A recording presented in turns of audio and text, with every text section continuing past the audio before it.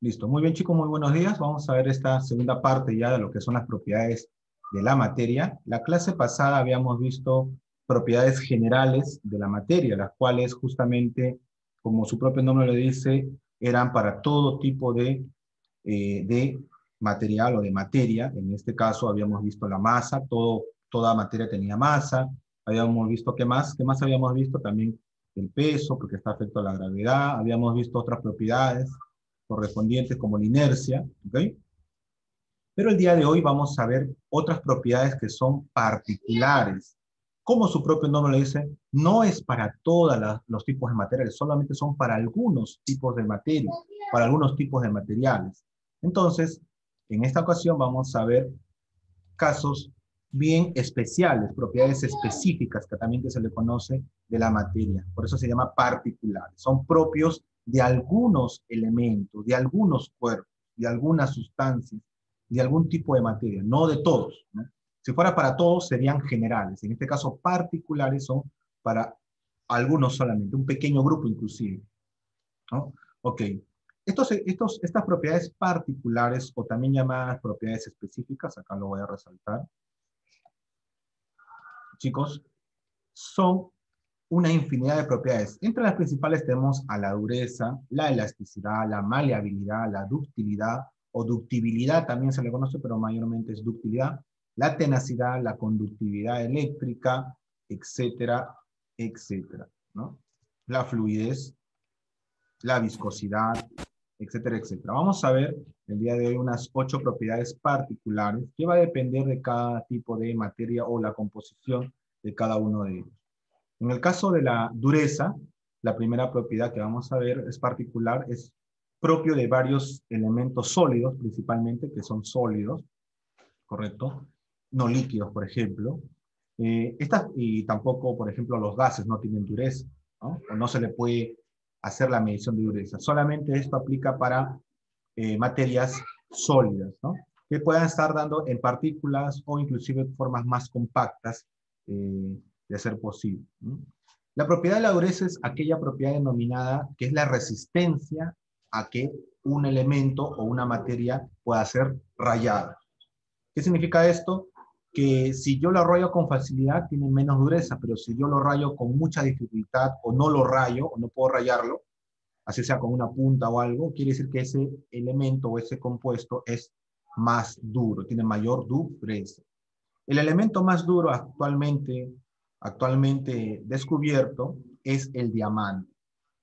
Es el diamante. Es el elemento más duro hasta el momento encontrado, a menos que se encuentre otro elemento nuevo este, que sea más duro que este. Antiguamente eh, se, encontraba el cuarzo, eh, el topacio como elementos duros, hasta el descubrimiento de los diamantes, el cual ya se dio una escala de dureza. Esta escala de dureza, chicos, se llama la escala de Mohs y esta da como puntaje a ciertos elementos. En la escala de Mohs tenemos de 1 a 10 como justamente escala que da este tipo de, eh, de durezas. En este caso, en este caso, en este caso, chicos, vamos a ver el tema de la escala de Mohs, como acá ejemplos. De la escala de Mohs solamente hace la escala del 1 al 10 y lo hace de forma referencial, ¿no? Aún el 1, la escala más, el valor más bajo de esta escala es el talco. Ustedes conocen el talco, es el talco, bueno, ustedes lo tienen en polvo, ¿no? El talco para echar a manos, para echar a los bebés, lo tienen en polvo. Es un elemento que es fácil de rayar, que, es, que es fácil de rayar, que es justamente el talco. Es una piedra, eh, es, un, es, un, tipo, es un sólido que tú al momento, inclusive con arañarlo, ya se va saliendo eh, las partículas del talco y es por eso que se convierte rápidamente en polvo. Es un elemento fácil de rayar, ¿no? Luego el yeso, el yeso, si ustedes han podido verlo, el yeso también es fácil de rayar, pero es un poquito más durito que el talco, por eso está en la escala 2 de, Mo, de Mohs. Luego viene la calcita, la florita, el apatito, cada vez más duro, el feldespato, el cuarzo. Ya cuando llegamos a una escala de 7, en la escala de Mohs ya es más difícil rayarlo, ¿no? Y obviamente, pasando por el, el topacio, el, el el corindón y obviamente el diamante, que es lo más duro. Según para la escala de Mohs, eh, esta escala valora con 10 a lo que es el diamante, es lo más duro. No hay más, no hay una escala que diga 11. No existe. Para esta escala lo máximo es el diamante y es difícil de rayarlo, ¿ok? Y más bien con las puntas de diamante se cortan los otros materiales. Como es el elemento más duro, puede cortar los demás con los demás elementos. Por eso se utiliza punta de diamante para, para lo que son cortes de ciertas materiales bien duros, por ejemplo, para cortar rocas, para hacer pozos de profundidad, eh, las puntas de los, de los aparatos de perforación de los talados tienen puntas de diamante para poder hacer las perforaciones respectivas, ¿no? A gran profundidad. Porque cada vez que cavas más, más profundo es más duro eh, eh, el sustrato, el suelo, y por ende se utilizan puntas de diamante, ¿no? Como le digo, hasta ahorita es el elemento más duro que tiene que se encuentra en el planeta Tierra. A menos que se encuentre otro elemento más duro, la escala de Mohs no va a cambiar o no va a variar. ¿okay? Esa es la primera propiedad, la dureza. La propiedad que es la resistencia a ser rayado. ¿okay? Y el diamante es el elemento más duro hasta el momento. Otra cosa, existe otras escalas de dureza. Otras escalas de dureza como la escala Rodwell o la escala eh, Vickers. ¿okay? Me gustaría eh, que lo investiguen, otro tipo de dureza y cómo se mide. Se mide también con una punta de diamante. La punta de diamante justamente sirve para lo que es esta escala de dureza, escala de Rodwell C. Rodwell C o Rodwell B, escala Vickers también. La segunda propiedad particular que vamos a ver, que no es propio de todos, sino de algunos, es la elasticidad. ¿Nosotros seremos elásticos? ¿Somos elásticos? No, ¿no? No somos elásticos, ¿no? no somos elásticos. O de repente sí, no lo sabemos, profesor, no somos elásticos, eh, dependiendo desde el punto de vista de cómo nosotros podamos medirlo, ¿no? No, no confundir la elasticidad con ser contorsionista o esos que se, que se estiran ahí en los circos, tener mucho cuidado, ¿no? La elasticidad viene a ser la propiedad de algunos cuerpos, como dice ahí, de recuperar su forma original. Un ejemplo que, eh, de un elemento muy elástico es las ligas. Por más que tú lo expandas, vuelve a su estado original. Prácticamente muchos de los elementos que son cuasi sólidos tienen esta propiedad. Ah, va a llegar un cierto momento que por más que lo estire, se puede romper, pero justo antes de ello vuelve a su estado original. Por ejemplo, este plumón que yo tengo en la mano, yo lo estoy estirando y se está agrandando el tamaño, pero que es un poco imperceptible. O sea, este es menos elástico que una liga. En la liga sí puedo ver el estiramiento. Mientras que en un plumón, por más que yo haga fuerza, yo no voy a ver visualmente ese estiramiento, pero sí hay un estiramiento mínimo. ¿Ok? Hay un estiramiento mínimo. Hay una elasticidad mínima. ¿Ok? Entonces podemos concluir que el plumón es menos elástico que una liga. ¿Ok? La elasticidad viene a ser justamente la propiedad de poder recuperar o volver a la forma original al ser deformados. Por más que yo le haga cualquier forma a la liga, esta va a regresar a su forma original. Así que eso es la elasticidad. Ok. La maleabilidad es la propiedad de algunos, de algunos cuerpos, chicos, de poder formar láminas. No todos los cuerpos podemos laminarlo, pero aquellos que sí serán maleables. Estos generalmente son para los metales. Los metales por excelencia son maleables. Metales como el aluminio, el oro, el cobre, la plata, son maleables. Es decir, lo puedo convertir en planchas. Y al convertirlo en planchas puedo formar también, por ejemplo, tubos. Tubos para hacer maleable. Maleable significa que yo puedo dar una forma de forma fácil. Mayormente esta maleabilidad se da al exponerlo al calor. Cuando un metal que está deforme lo caliento, yo le puedo dar la forma de plancha para una mayor facilidad. Y eso es la maleabilidad, propiedad de algunos cuerpos o algunas materias que se sirven para formar láminas. Problema, este, propiedad número cuatro, la ductilidad. Muchos, muchos, por favor, pueden, muchos confunden la propiedad de ductilidad con maleabilidad. La maleabilidad, repito, es la propiedad de formar planchas, mientras que la ductilidad es la propiedad de formar, ¿qué cosa? Filamentos o hilos, o también conocido como cables, ¿ok? No todos los metales cumplen esta propiedad. Aquí algunos metales son fáciles de hacer la ductilidad, es decir, de convertirlos en hilos y filamentos o alambres. El más conocido es el cobre, ¿no? El más conocido es el cobre, ¿no? Los cables de alta tensión son hechos principalmente de cobre. ¿no? Antiguamente eran de plata y más antiguamente eran de oro, porque tenían una muy buena propiedad para conducir la corriente eléctrica, eso lo vamos a ver un poquito más adelante en los cables, ¿no? Pero como se los empezaron a robar, a, sacar los cables porque tenían oro y tenían plata, entonces hicieron los cables de, de corriente de cobre, ¿no? Que es un conductor menor al oro y la plata. ¿Por qué? ¿Por qué lo hicieron de oro y plata? Porque son muy buenos conductores de la corriente. Tuviéramos una corriente muy buena, vamos a decirlo así, si están compuestos de oro y plata, ¿no? Pero el cobre, como es casi que no, no tiene mucho valor, por eso se ha hecho de, y también es un buen conductor, pero en menor medida que el oro y la plata, por eso los cables son hechos de cobre, ¿ok? Pero la forma de hacer cables de un elemento como el cobre, en este caso el metal cobre, es justamente se llama ductilidad. ¿no? Repito, muchos confunden la maleabilidad con la ductilidad. Maleabilidad, planchas, tubos, ductilidad, cables, filamentos o hilos. ¿Ok? Cinco, tenacidad. La tenacidad es la propiedad por la cual los sólidos ofrecen una resistencia a romperse. Por ejemplo, yo puedo decir un líquido es tenaz ¿Puedo hablar de, que un líquido es tenaz? ¿Sí o no? Dígame, ¿puedo hablar que un líquido es tenaz? ¿Sí o no? No puedo hablar de ello, porque acá mismo dicen, la tenacidad es la propiedad por la cual los sólidos, solamente es exclusivo de los sólidos, ofrece a la resistencia a romperse. Un sólido se puede romper si yo ejerzo bastante fuerza para ello, lo puedo romper. Mientras más tarde en romper, dichos sólidos diré que es más tenaz. Mientras más rápido tarde, eh, mientras más rápido sea en romperse, diré que es menos tenaz. Es la resistencia a ofrecer para que no se rompa un determinado sólido. Generalmente esto es eh, lo que conocemos como tenacidad, la resistencia a que se rompa un sólido, ojo, un sólido, no un gas, no un líquido.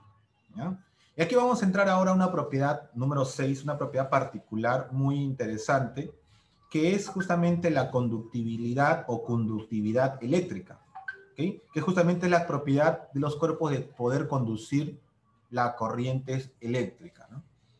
Uno, uno de, los materiales que conducen bien las corrientes eléctricas son los metales.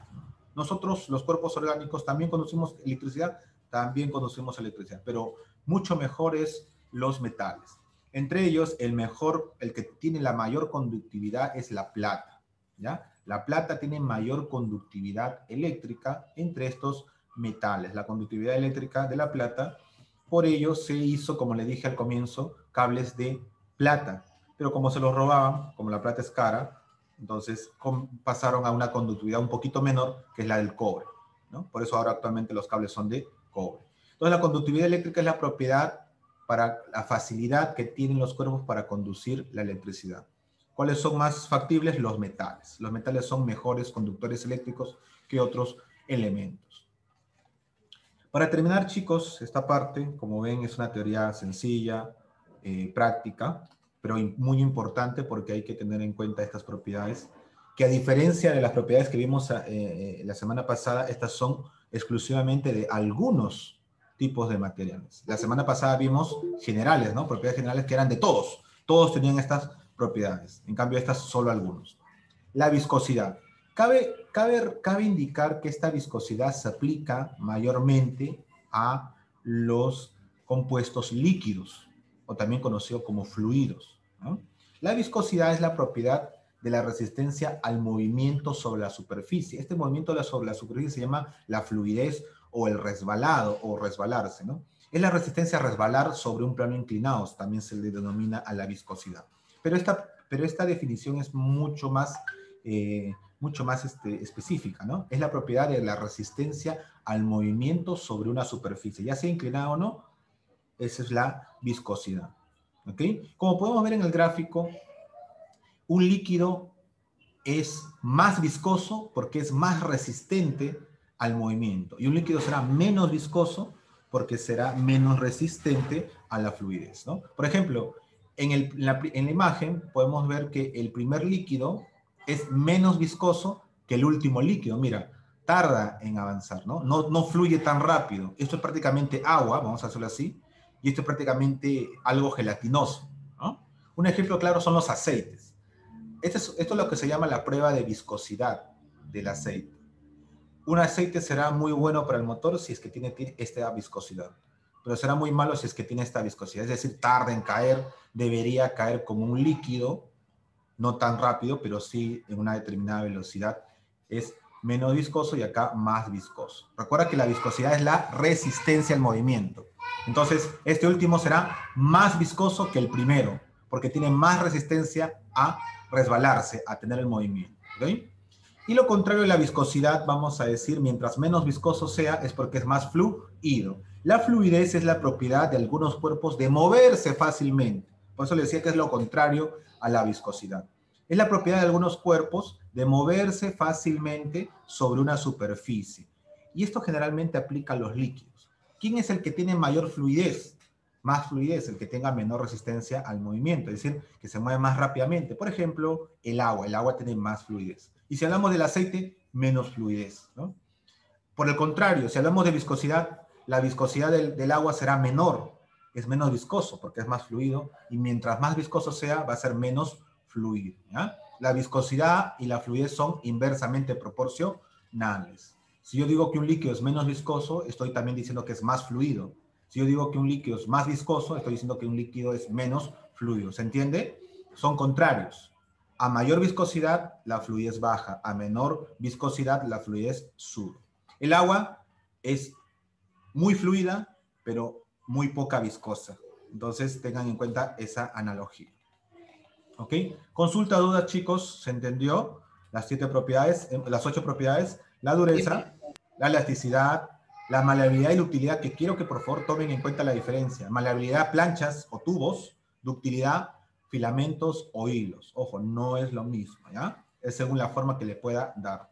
No porque pueda hacer una plancha, yo puedo llegar a hacer un hilo. Esto es un poquito más, más, más fácil de, de realizar, ¿no? Vamos a decirlo así, o menos duro, ¿ok? Muchos confunden la maleabilidad con la ductilidad, como les decía. La tenacidad es la resistencia a romperse, ¿ya? Si eres más tenaz es porque eres más resistente a romper. Si eres menos tenaz eres porque eres menos resistente a romperte. Por ejemplo, si yo digo, ¿quién es más tenaz? ¿La tiza o una piedra? ¿Quién es más tenaz? ¿Una tiza o una piedra? La piedra. La, piedra es más te, porque la piedra resiste más a romperse, ¿no? Es rápidamente rompible, ¿no? Porque es por eso diré que es menos tenaz. Ok. La conductividad eléctrica, la viscosidad y la fluidez ya les he explicado, así que vamos a hacer, por si acaso, la actividad de aplicación. No sin antes tomar la segunda asistencia. ¿Ya? Ok. No se muevan, por favor, voy a tomar una asistencia y luego para comenzar con las... Para terminar con las... Con la siguiente asistencia.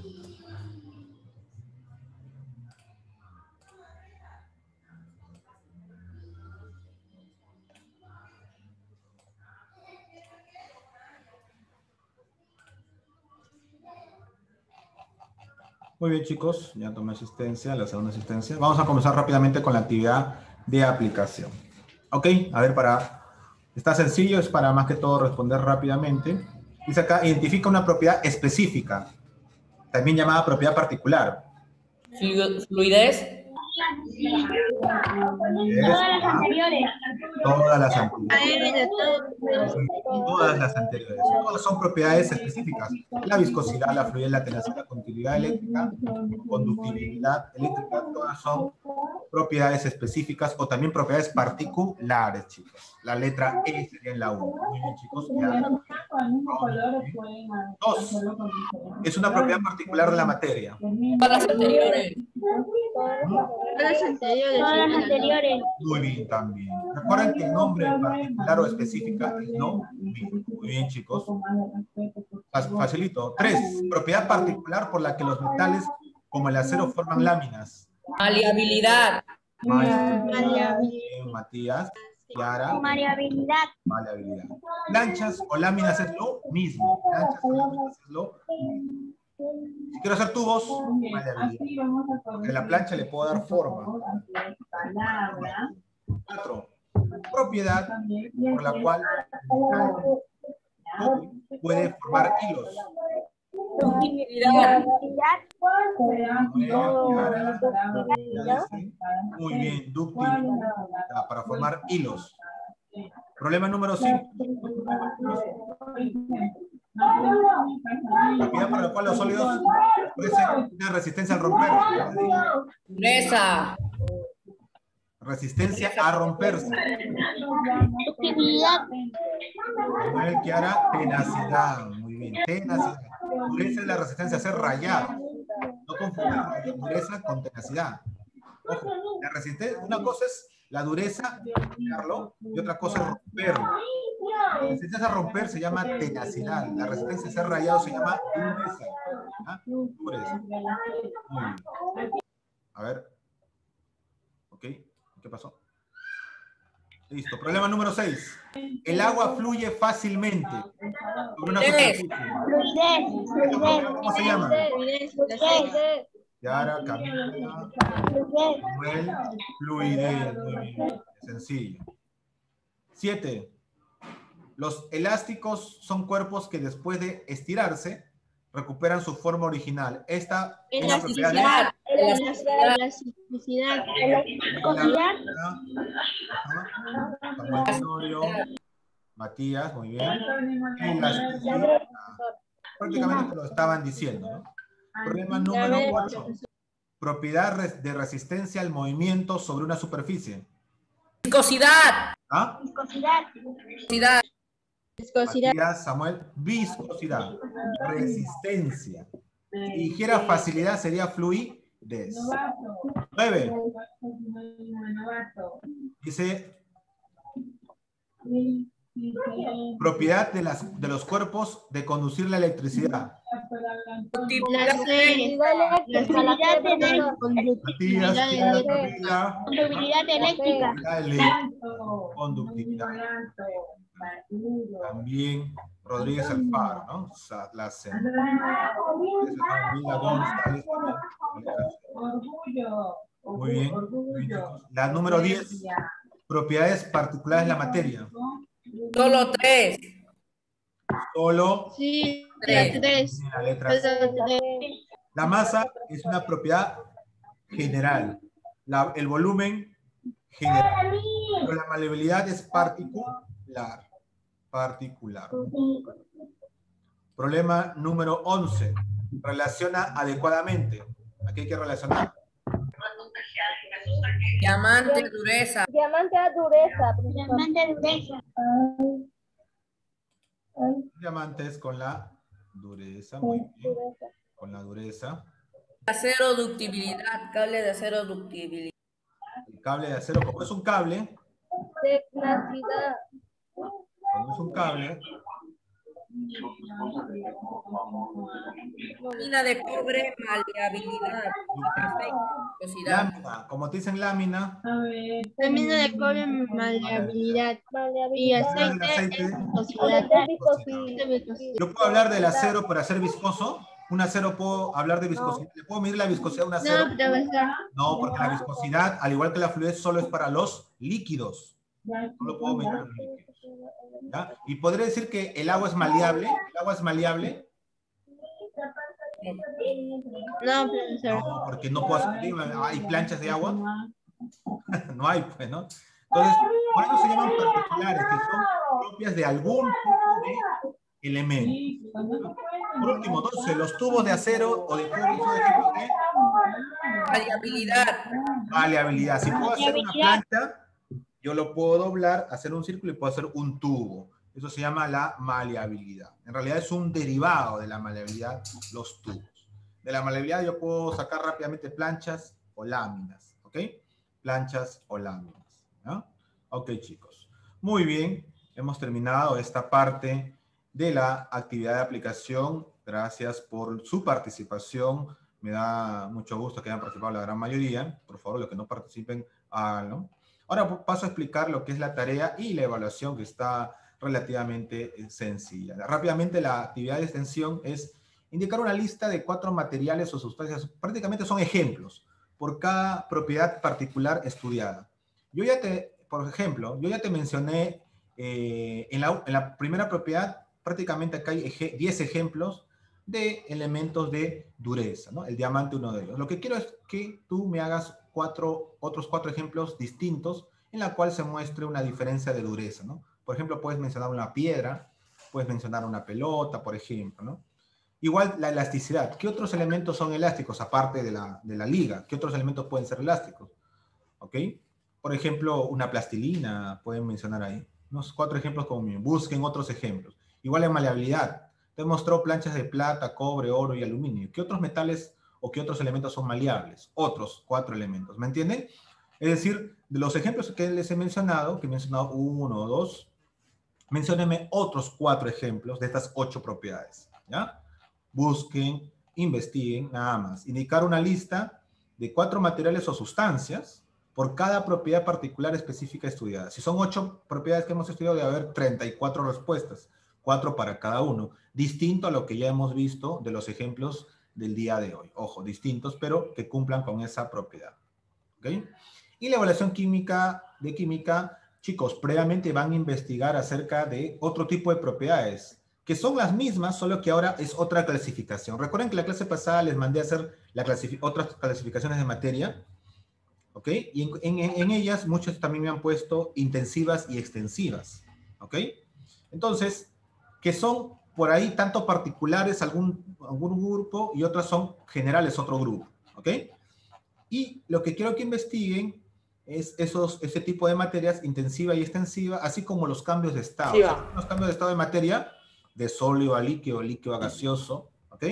¿Para qué? Para que me puedan responder correctamente estas cinco preguntas.